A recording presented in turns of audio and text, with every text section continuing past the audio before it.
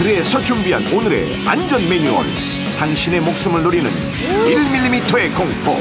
위험한 야생 진드기입니다. 야생 진드기란 주로 들판이나 풀숲에 서식하다가 동물의 몸에 붙어 흡혈을 하는 벌레로서 주로 소의 피를 빨아 이름이 붙은 작은 소피 참진드기 일명 살인진드기가 대표적인데요 4월부터 11월까지 활동하지만 바로 요즘 5월에서 8월이 집중 감염 시기입니다. 했는데. 작은 숲이 참진드기는 풀끝에 매달려 있다가 지나가는 동물의 옮겨부터 흡혈을 하고 피를 통해 영양분을 섭취한 후 다시 풀 밑으로 들어가 알을 낳는데요.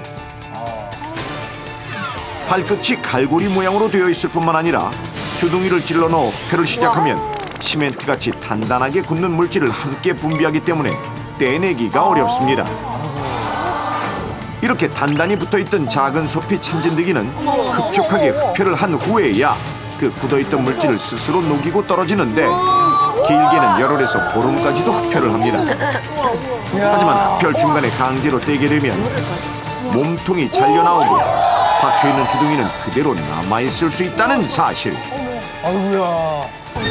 그런데 이 작은 소피 참진드기에 물린다고 다 바이러스에 감염되는 것은 아닙니다.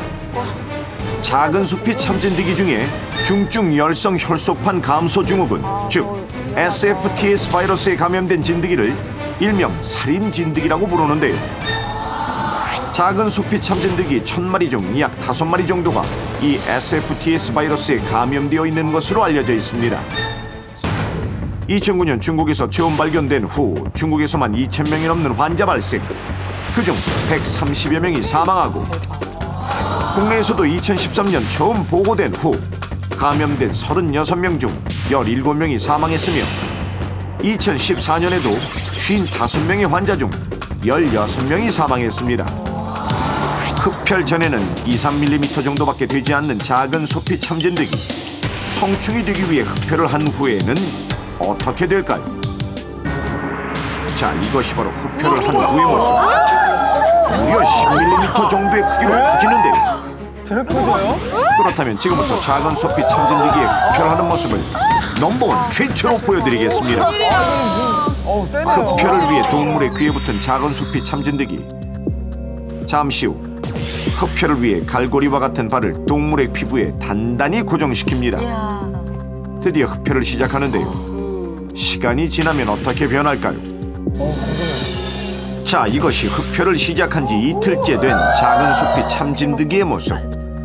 흡혈을 해서인지 전날보다 몸통 색깔이 까매지고 크기도 조금 부풀어 오른 모습. 그리고 흡혈을 시작한 지 닷새가 지나자 어, 진짜 커져요. 보시다시피 몸통에 차오른 동물의 피로 인해 색깔이 굉장히 진해졌고 와. 처음보다 몸 크기가 몇 배로 커진 것은 물론 부풀어 오른 몸통 때문에 다리가 보이지 않을 정도입니다. 우와. 우와. 저렇게 커져요. 콩 아니에요? 대박이다. 그런데 만약 이렇게 물린 작은 소피 참진드기가 SFTS 바이러스에 걸린 진드기였다면 우리의 몸은 어떻게 될까요? SFTS에 걸린 작은 소피 참진드기에 물린 후 잠복기는 짧게는 4, 5일에서 길게는 2주까지 걸리기도 하고 증상이 나타나기 시작하면 대부분의 사람들이 38도씨 이상의 고열과 식욕저하, 부역, 구토, 설사, 복통 등에 시달립니다. 초반에는 식욕 부진, 두통과 오한 때문에 감기 증상으로 오해하는 사람들이 꽤 있는데요. 증상이 심해지면 혈소판과 백혈구 감소로 혈변, 혈뇨 증상도 함께 나타나며 경련이 일어나거나 의식을 잃을 수도 있습니다. 지금까지 바이러스의 감염의 정확한 원인이나 치료제는 발견되지 않아 감염 후 나타나는 증상을 완화시키는 치료제만 사용되고 있는데요. 면역력이 강한 사람이라면 열흘 전으로 자연 치료되기도 하나 그렇지 않다면 다발성 장기 부전으로 사망에 이르기도 합니다. 또 지금까지는 사람과 사람 간에는 감염되지 않는다고 알려져 있었으나 지난해 한 병원에서 환자의 혈액과 체액에 노출된 의료진이 감염되었던 것이 올해 뒤늦게 알려져 시민들에게 충격을 안겨주기도 했습니다. 그렇다면 야생 진드기로부터 안전할 수 있는 방법 어떤 것들이 있는지